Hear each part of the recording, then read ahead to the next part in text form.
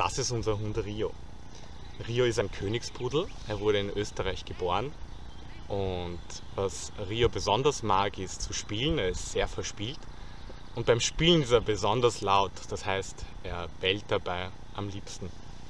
Und was Rio noch sehr mag, ist Tofu essen. Er liebt es, mit uns schwimmen zu gehen. Er mag auch in der Stadt spazieren gehen und am Gras herumtoben. Ich habe ihm natürlich einige Tricks beigebracht. Was mir aber wichtiger war, war ihm beizubringen, wie er sich in der Menschenwelt zu verhalten hat, damit es für ihn angenehm ist und für alle anderen auch. Da geht es darum, dass er zum Beispiel im Lokal ruhig ist, dass er sich in der Straßenbahn hinsetzt. Ich habe erkannt, es geht aber auch nicht nur darum, was ich meinem Hund beibringen kann, sondern unser Hund hat uns auch sehr vieles beigebracht. Ähm, ja, also mir bringt der Rier zum Beispiel bei, ähm, das Leben leichter, lockerer und spielerischer anzugehen.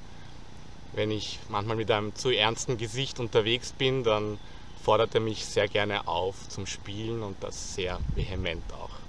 Und was er mir beigebracht hat, ist, wieder genussvoll zu essen.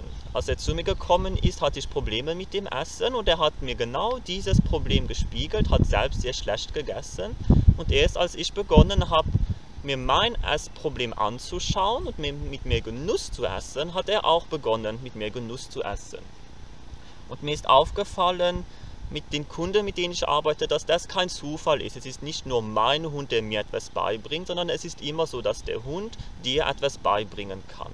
Ich hatte zum Beispiel eine Kundin mit einem kleinen Hund, der sehr aggressiv Männern gegenüber war. Wir haben herausgefunden, es ist deswegen, weil sie gerade in der Scheidungsphase ist und sie hat einen Hass gegen Männer. Und genau das hat der Hund ihr auch gespiegelt.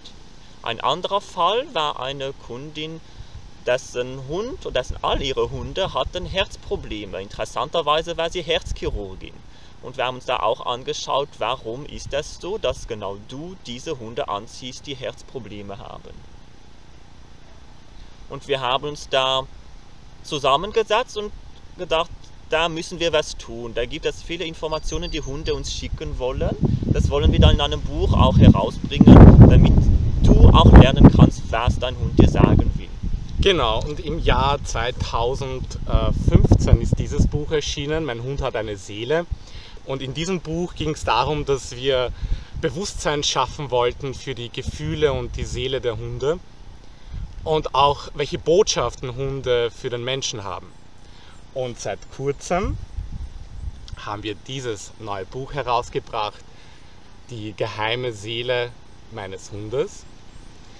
Da geht es darum, das ist ein, ein richtiger Praxisratgeber, äh, wo es darum geht zu verstehen, was das Verhalten deines Hundes über deine Persönlichkeit aussagt. Wir haben auch ein sehr wichtiger Teil von diesem Buch war, ich wollte auf dieses Verhaltensproblem eingehen. Man sagt immer, mein Hund ist verhaltensgestört, mein Hund hat ein Verhaltensproblem. Hier beschreiben wir, was der Unterschied ist zwischen einem Verhaltensproblem einem und einem unerwünschten Verhalten. Zum Beispiel das Bellen vom Rio beim Spielen ist kein Verhaltensproblem. Für viele Menschen ist es eine ein unerwünschtes Verhalten, aber auch mich stört dieses Verhalten nicht. Und da muss man eben klar definieren können, was ist jetzt ein Verhaltensproblem, was ist nur ein unerwünschtes Verhalten und wenn das Verhalten unerwünscht ist, was kann ich tun, was kann ich an mir ändern und was kann ich an meinem Hund ändern, damit das besser geht. Was noch interessant ist in dem Buch, wir wollen euch da beibringen, dass deinen Hund besser kennenzulernen. Und so haben wir neun verschiedene Hundetypen oder Persönlichkeiten herausgearbeitet. Der Rio wäre zum Beispiel der Animator, der immer gern spielt, der andere animieren will zu spielen und der versteht es nicht, wenn kein Hund mit ihm spielen will. Ein anderer Hundetyp, der sehr häufig vorkommt, ist auch der Introvertierte, der eigentlich keinen Kontakt mit anderen Hunden mag. Da ist halt die Frage, muss ich ihn unterstützen darin oder soll ich ihn so annehmen? Was auch vorkommt, sind die typischen Ladies. Niemand ist gut genug für mich. Kein anderer Hund ist gut genug für mich. Man muss sehr sanft mit mir umgehen. Da gehen wir in dem Buch ein, was sind diese Hundetypen, diese Hundepersönlichkeiten und vor allem, was kann ich tun, meinen Hund in seiner eigenen Persönlichkeit, Individualität zu unterstützen. Und ein sehr großer Teil ist natürlich auch der Selbstcoaching-Teil für Hundebesitzer. gerade bei Themen wie Angst, Aggression oder auch Jagdtrieb bei Hunden, kann es sein, dass dieses Verhalten durch den Hundebesitzer ausgelöst wurde. Und da erfährst du, wie du nicht nur das Verhalten deines Hundes veränderst, sondern auch dein eigenes Verhalten. Was auch natürlich dabei ist, ist ein großer spiritueller Part. Also der spirituelle Part ist hier, wie kannst du richtig ähm, umgehen mit den Themen wie Tod und Krankheit beim Hund. Dann, warum Hunde dich äh, überhaupt spiegeln oder warum Hunde allgemein spiegeln.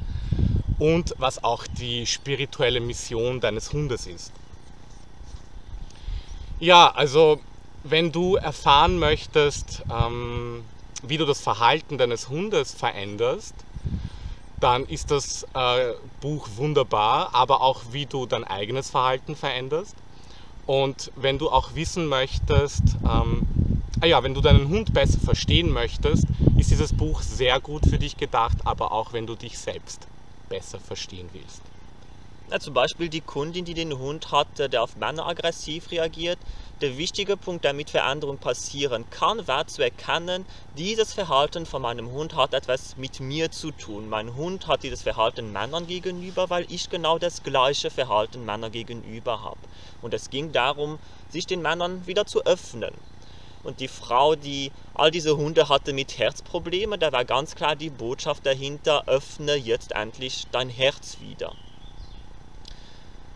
Wenn du jetzt deinen Hund bloß trainieren willst, dann kauf dir einen Hund, ein Buch über Hundetraining. Wenn du aber deinen Hund verstehen willst, mit deinem Hund wachsen willst, deinen Hund in seiner Persönlichkeit unterstützen willst und auch du deine Persönlichkeit besser kennenlernen willst, dann raten wir dir wirklich, dieses Buch ähm, zu lesen, hineinzublicken und dich davon inspirieren zu lassen. Viel Spaß damit.